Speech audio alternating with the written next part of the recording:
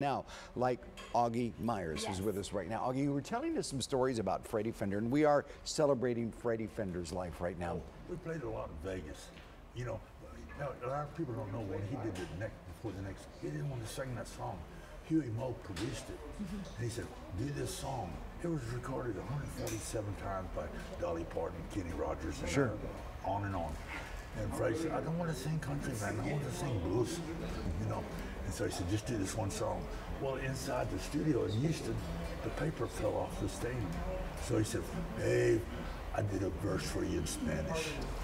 And Huey That's how that said, You did it good, man. I love it. So- sold millions, millions of copies. Sure. you know? I mean, just by accident. By so accident. by accident happened. He just He threw in the Spanish. Spanish. I mean, he just sing this country.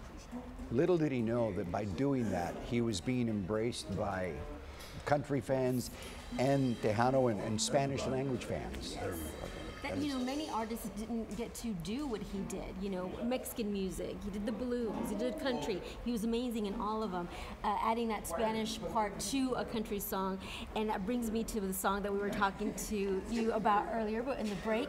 Hey, baby, que pasó? Love that song. I had to share the story of how my eight-year-old little girl heard that song on the radio, memorized it. We went into my dad's house. He was singing that song. My dad looked at her. How in the world do you know that song? you know, it, it's till this day. So, and you're going to perform that for us today, right? Yes. Oh my goodness! I So how did for that How song that come song about? How did it come about? Well, uh, like I said, I was alone with this girl, and she didn't like it. I said, "There's a door." Uh-oh, uh-oh. Then that, that's when I wrote, "Hey, baby, kept us up." That Thought I was in Noise Watch. That's right. and it didn't quite work out that way, did it? quite work out. But but it took off. Did you expect the kind of response No, that? when I started playing at, at clubs and places, people, I'd go, about two of us would come up, and everybody said, uh, "We have a band for tonight." And I said, "Who? The guy that sings "Que Pasó"? They thought it was a Spanish guy. I said, "Well, that's me. I'm right here. I'm the Polish- flaco. I'm a Polish gringo." You know? the Polish getting. And I remember the lady sweeping in front of us. "Ee, Hey, she called her husband, you know. He said, "Oh yeah, well you want you know, come on in." And everybody loved it. Absolutely. Oh my goodness. Well, let me ask you a couple of other questions. You have had quite the historical background um, musically, performing with some of the biggest legends in the world. Tell us about that. Do some name dropping That's for right. us. We met Bob Dylan in 1964. Me and Doug had a group called Sir Douglas Quintet. And first time I, I read about Dylan, I mean, I heard about him. In the, in the paper, he said, that's the best garage band in the world. And I said, man, he's putting us down.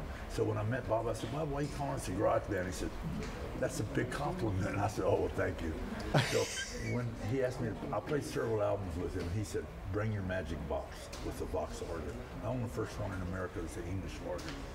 You know, back in the That, and that's what a lot of folks may not know that you brought this this instrument, America, yeah, to America, and you used it in what songs? Uh, well, there was a group called Dave Clark Five. Right. Their organ broke. I opened the show for them, and and uh, then Doug Sahm, and his band went on, and that's when Huey Meaux said, "Y'all both got long hair. Why don't y'all put a band together?" Well, we've been friends since we were nine years old.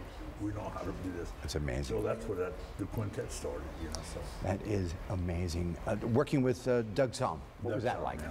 We met when we were nine years old. His parents came to my mama's grocery store, and uh, we were in the back getting baseball cards out of the gum, bubble gum and stuff. My mama come on and said, "Junior, you can't be doing that." I said, "Yes, we can." Uh-oh. It was fun. Yeah, but what stories? Oh, oh my goodness. we could goodness. talk to him forever. Yes, we, we could, could. talk to you forever. We honestly can. Oh, there's So glad and privileged and blessed that you're here with us this morning. We appreciate that. You know, I'm, I'm here, man. I'm thank, thank. I always tell people I'm not afraid of dying. I just don't want to be there when it happens. I like that.